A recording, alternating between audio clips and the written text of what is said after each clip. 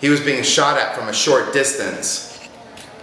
The grupo that entered his temple was the size of a 50 cent piece, 5.56 millimeter, traveling at 2,800 feet a second in a three round burst, entered his temple, deflated his skull as if it were a balloon without air in it. That's how they found him. After he said, my name is Pat fucking Tillman. Stop shooting. I'm an American.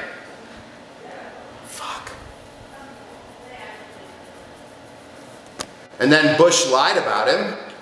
He used him as a hero when the last thing he told Marie, his widow, the last thing he told her was, don't let them make a hero of me. Don't let them do it. Because this is not about heroism.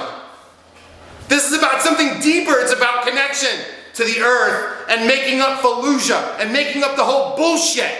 Pat knew it. That's why he gave it up. And that's what his brother knows, and that's what Marie knows, and that's what Jeff Botts knows, and that's what I know.